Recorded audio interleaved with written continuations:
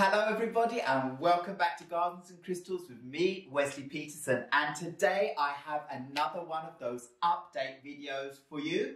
This time I have this beautiful plant next to me here. This is my Epipremnum pinnatum and I have had this plant for over a year now and it is doing fantastically for me, I think.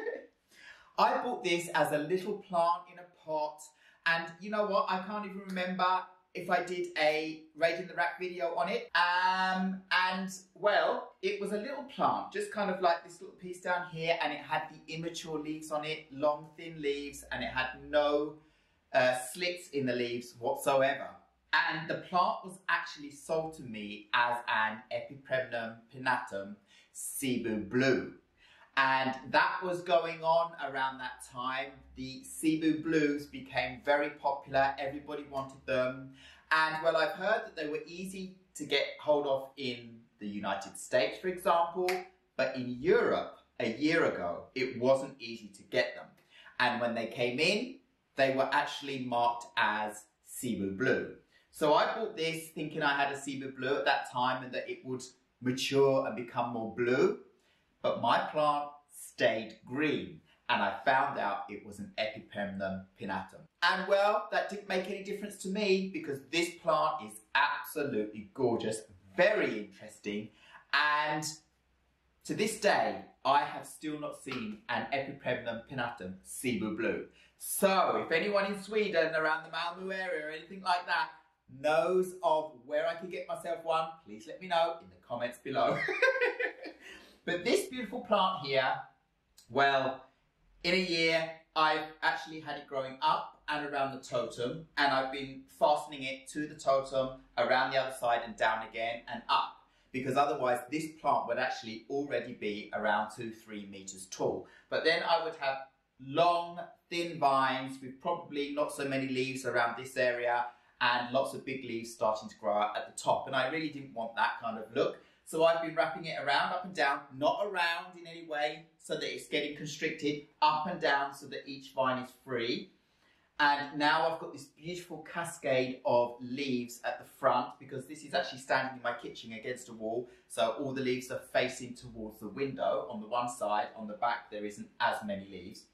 But what I love about it is that you can get to see the maturity of the leaves, the different type of leaves that come along on this plant. So as I said, the small ones, long and thin and beautiful, and then they start getting fenestrations, one, and then there's some that have two, there's some that have four, and the leaves are getting longer and bigger, and it's just amazing to watch. This is in just one year. The plant, I mean it, when I got it, was just like a normal little plant. so I'm so excited about this.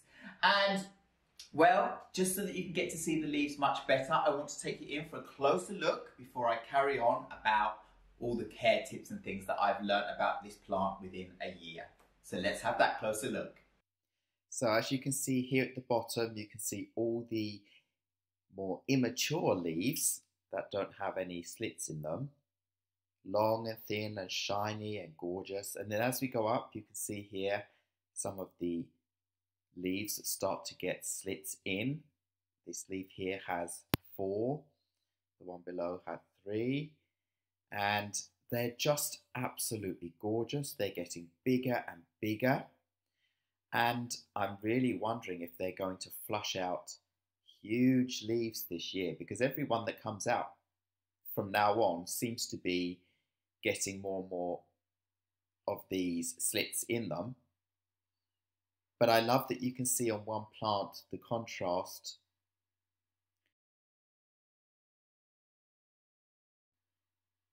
and the whole process in one plant. So imagine if I let this plant grow up onto a tall totem, it would just grow out and get lovely big leaves all the way up. Um, and I've decided, as I said, to just keep it on this smaller totem where I've been folding the vine up and down. But this plant has been very easy and very thankful and happy in my kitchen where it gets a slight amount of direct light and the rest is kind of shady. So, I really hope you liked seeing this plant closer up and you got to see the different slits and the different shapes of leaves and what's going on. It's absolutely fantastic. Now, at that time when I bought this plant, I didn't have terracotta pots, I didn't have pots around me that had holes in that weren't just plastic pots. So I decided to plant this plant directly in this ceramic cachepot. No holes in the bottom, and well, I did all the things that you shouldn't actually do. Put it in a gigantic pot when it was in a small pot to start with, or I probably had two plants or so. I can see two stems at least. Um, put them in the pot, lots of soil, no drainage holes, and well, in a whole year, it hasn't affected my plant at all. I haven't overwatered it. It's actually been left to dry out quite a bit when I haven't been here and so forth, but when I water it, I don't water all over the area. I make sure I stay close to the stem because I know there's a lot of soil and I don't want this plant getting bogged down and rotting out because it's a plant that doesn't need too much water. It likes to dry out in between. And it seems to be doing fine. I have it in a soil that is a gardening mix and it's mixed with perlite and uh, bark and um, I think it's got leca balls and uh, a little bit of biochar I put around the top later. I added that. And so the plant is happy with the soil, obviously, it's happy with its pot, obviously, and it's happy with its stake, and it's growing out. It's very green. The window it kind of faces towards is an east-facing window, and during the morning time, there is some direct light that shines onto the plant for a very short period, and then it's bright indirect light most of the day. And this plant is really loving that because it doesn't want to be in direct scorching hot sun. That will burn out these thin leaves. They're very thin. Um, but it's obviously been enough to help this plant want to mature out and look the way it is. I mean, it really has transformed so much from when I bought it. It's unbelievable. It's so nice with some of these plants that you buy them and they turn into a completely different type of plant. We know that from a few different species of plants that do that. This plant, I would say, um, it's been on its own most of the time, but it's still managed to get thrips somehow.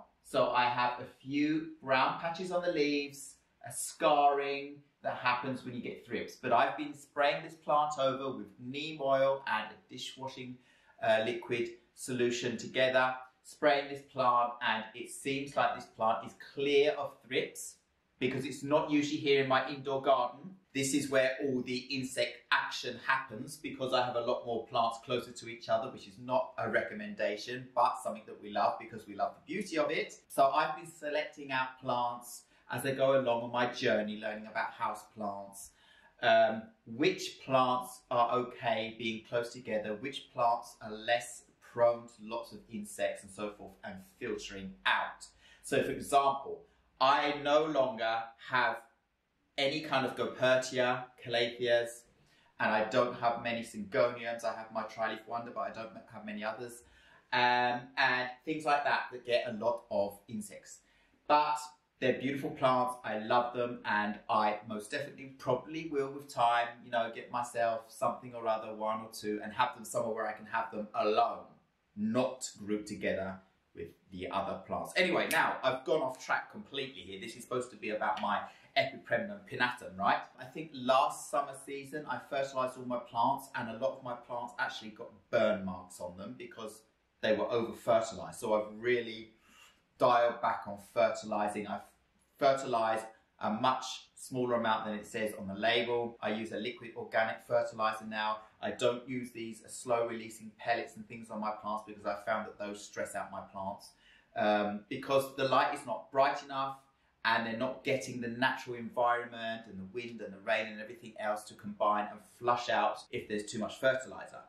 So that is just a suggestion to be very careful with the fertilizer, especially with this plant with thin leaves. It can get burning patches on it. This plant, it's just been doing its thing. I mean, it just wants to reach up to the sky and grow out. This plant is an easy plant to care for. This is not one of those difficult plants. As I said, it's in a pot with no drainage holes, or huge pot I mean, this plant is not using even a quarter of the amount of soil in this pot, even after a year. If I should take it up, the root ball is probably still tiny, but you know, it's happy. And what I did when the uh, vine came down this time, this little piece at the front, I don't know if you can see it, but I can't pick up this plant and show it to you because it's too heavy. I actually put that down into the soil and covered it and left that to root out and become a new stem so that I can put that up into the top. So every time one of these vines come down now to the bottom, I will actually stick that into the soil, let it root out and become a separate vine of its own so that I can keep getting more growing up and up a clone of itself constantly going on. So all I've been doing is spraying it over, giving it neem oil, just keeping a good eye on it. It doesn't brown out very much on the tips and so forth. I see a little bit, but I think that's happened mostly because it got bugs at some point. But most of the times these leaves stay lovely all the way around, all the way down to the tip and they don't brown out so much. This plant, if you overwater it, it's going to mush out and brown out because it will get root rot. But if you leave it too long, yes, the leaves are thin and they will start browning out around the edges. But going back to when you go out and buy this plant, um, one thing I really do want to point out in this video is that it's still possible that there are Epipremnum pinnatums that are being labelled as Cebu Blue accidentally or because certain people might be wanting to sell the plant to you as the Cebu Blue, which has been much more popular than the green variety. But I would suggest you get yourself one of each because the green variety is beautiful and the blue variety. And these leaves are only just starting to mature. When they get bigger, when they mature, they can get really big and they can get a lot of slits. They look absolutely gorgeous. But to get a plant like that, it's going to have to be allowed to grow up and it's going to have to have the correct amount of light and humidity and warmth and everything else. This plant is a plant that likes to be kept at a good room temperature and it's in my kitchen so it's in normal indoor humidity so it's probably around 40% or so there. Um, absolutely fine with that a little spray off now and again just to keep the leaves clean and that's it. I mean the plant and the pot is too big for me to go and shower it off but if you have a smaller plant I would suggest you take that into the shower, hose it over and you know let that drip off and then you'll be sure that you've got a lot of dust and any kind of insects that could be on the leaves away. So yeah, just go out and enjoy this beautiful plant. So don't go out and think, oh, there's just a little uh, Epipremnum pinnatum. That's not going to grow into very much and it probably won't change. Yes, it will. In a year, you're going to have something like this. And I'm wondering what it's going to be like in another year if the leaves are going to get even bigger and if they will start getting more and more slits later on. That is just so exciting for me. So yeah, I just wanted to show this off because I haven't spoken about this plant. You haven't seen this plant since I bought it a year ago and it's doing fabulously. Really, really gorgeous. I have a little crystal down in the bottom here. I have a little Buddha figure. And yeah, I was thinking of going in and repotting this plant into a terracotta pot because I've been doing that with a lot of my other plants. You know, when I've repotted them, I've been putting them into terracotta so that I can water them and not worry that I'm going to be overwatering them too much or anything like that. Um, and that the water can drain out of the bottom and all of these things. But I do have periods where I'm in my cottage and then my plants might be here for a week or two. And then in terracotta, they're not getting enough water. So when I come back, they're really, really dehydrated. So it's a difficult balancing act um, when you use terracotta because they do need to be watered more. But if I have plants that are in pots like this and I ask someone to water my plants, to look after my plants that maybe don't know that much about them, there's a huge risk that my plants are going to rot out because they will be overwatered.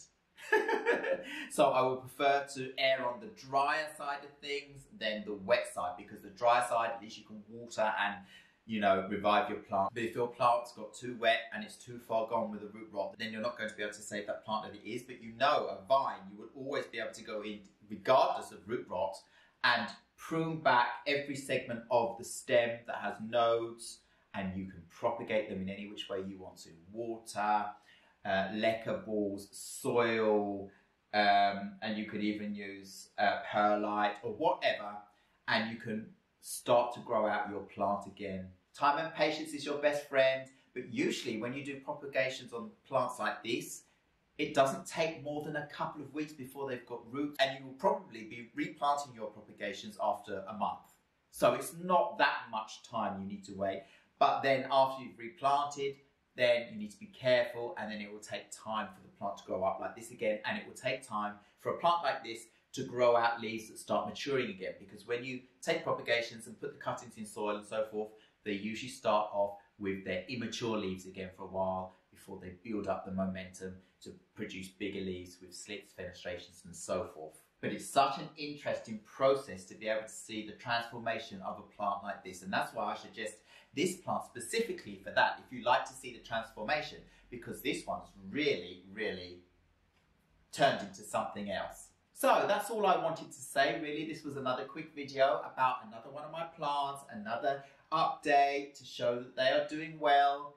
And if you have any questions about this plant, write them below. If you have an Epipremnum pinnatum and you want to um, tell a story about your plant or how your plant looks and so forth, then please do that as well. It'd be so interesting to hear how yours has transformed into a more mature plant. So, all I have to say now is Thank you very much once again for watching Gardens and Crystals with me, Wesley Peterson. Please remember to like, subscribe and hit the bell so you know when my next video will be coming up. And I will see you again very, very soon.